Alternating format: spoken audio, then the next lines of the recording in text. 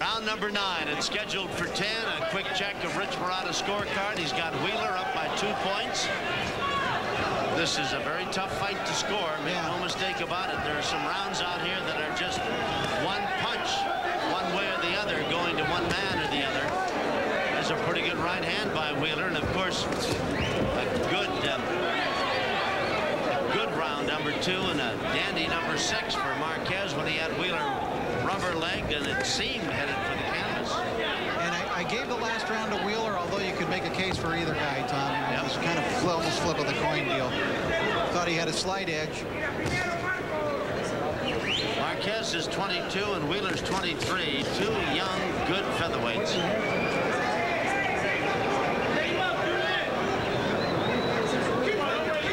Neither man has been down.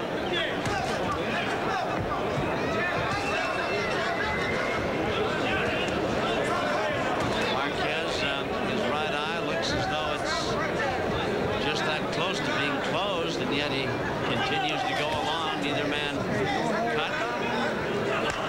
Larry Rozadilla, the third man in the ring. Thing, Tom, I think Marquez, Oh, good right hand. at least up until that point, had been missing a lot more punches in the last couple of rounds than he was earlier.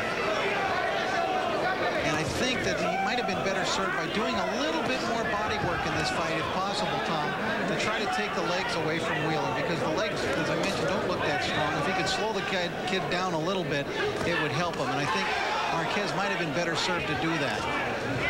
Punch to the body, but he's been pretty much a headhunter, with the exception of those low blows. Yes. Throw a couple of those in uh, every other round or so just to let Wheeler know he knows where the rest of his body is. This is round nine. Wheeler in blue, Marquez in the red, trimmed in the black trimmed in red. Larry Rozadilla is a good official, but he has a tendency to get in the middle, get between the fighters, Rich. No knockdown. Mar- Wheeler slipped and went down. He did one time, he, he away, and I'm not exactly Yeah. sure why, when, know. when he had Wheeler hurt in that second round. And I think that cost Marquez a couple of really precious seconds when he had Wheeler in some real trouble there. Now Marquez stepping it up a little. Round number nine, scheduled for 10. Right hand, no knockdown, they say. Well, a punch was thrown, Yeah, and a punch landed, and some of the crowd don't like the idea that, that it was no knockdown. We're going to take another look at that, rest assured, between rounds. Very easily have been a knockdown, could have been a 10-8 round. With Wheeler getting the benefit, we think it was a knockdown. Let's take a look at it. You can judge for yourself. There's Marquez watching now. A punch will be thrown by Wheeler. all right, Marquez, there's the right hand, top of the head, down goes Marquez. Marquez. It appears to be a knockdown all the way. Yeah. But it wasn't in the eyes of Rozadilla, and so that's the way that went. All right. While this one has a round to go, don't forget Zaragoza, Cero Sanchez for the WBC Super Bantamweight title. There they are doing a little shadow boxing. The Ultimate Warrior, Daniel Zaragoza. He's three times been a world champion. And the guy who took the title away from Tracy Patterson is getting his sweat worked up. There's Hector Acero Sanchez in his dressing room. They're scheduled to go 12. Ought to be a dandy. And coming up right now, round number 10 of this featherweight scrap.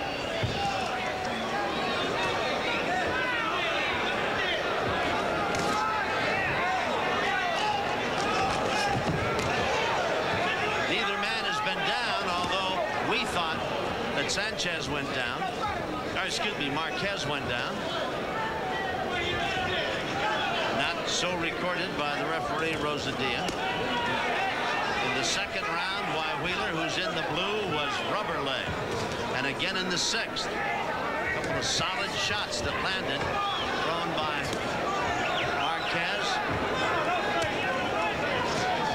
You know, Wheeler looks a little bit the better of the two here in this 10th round, Rich. A little fresher, yeah. He's, yes. I would agree. Marquez, look at his face, a little bit jaded. Yep.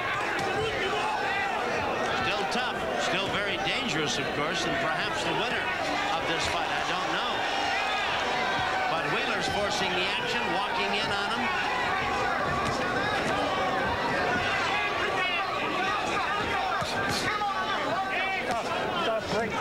You've been watching with us while you know that Marquez has the heavier hit uh, power and has uh, proved it in two rounds by scoring with some big-time punches against Wheeler. You know, if Wheeler wins the decision in this fight, Tom, it may be greeted with uh, booing from the fans due to the fact that when Marquez won rounds, he won them big. He won them very decisively. Yeah, like two and six. Yep, he looked very impressive. Wheeler came back from each and every one of those. He fought well in the third, came back very strong in the seventh.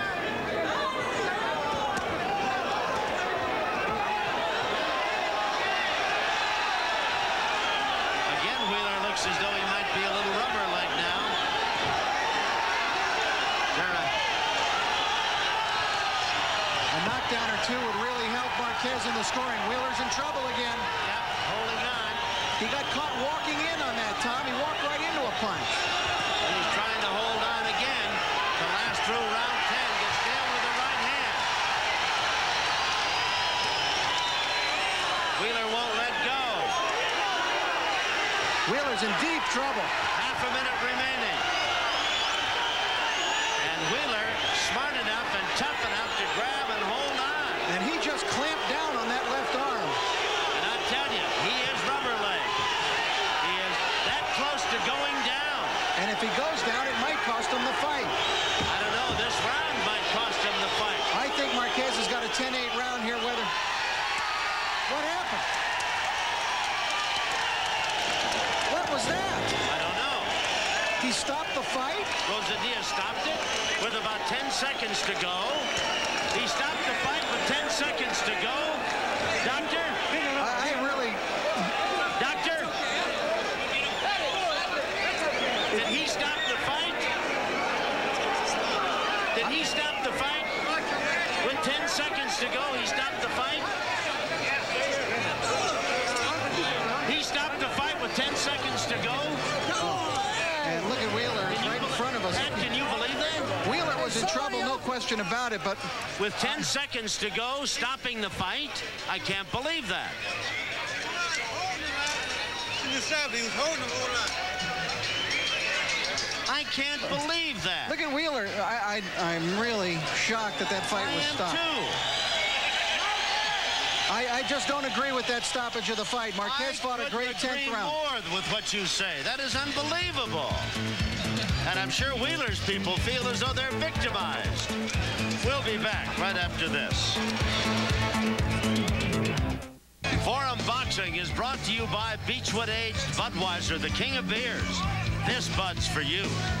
And by West Coast Detectives, transportation and protective services worldwide since 1922, headquartered in North Hollywood, California. Now, we've seen some weird decisions from time to time, and I'm not about to say that Marquez wasn't winning this fight. But with less than 10 seconds to go in a fight that we Yeah. thought was very close, to have it stopped because Wheeler was grabbing and holding just doesn't seem right to me, Rich Marotta. Well, I don't think he was winning the fight, Tom, and I I, I disagree. That is I have a lot of respect for Larry Rosadie and all the follow and all the officials, but this one I just can't agree with. Weird, weird decision. Let's go to Jimmy Lennon Jr.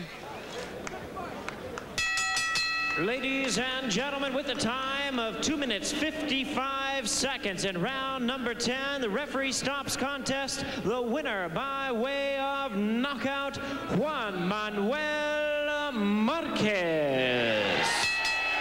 Well, Marquez gets the win, but I tell you, if I were Wheeler's people, I would demand to see the judges' cards going into that 10th round, with only five seconds left, I see no reason why this fight should have been stopped.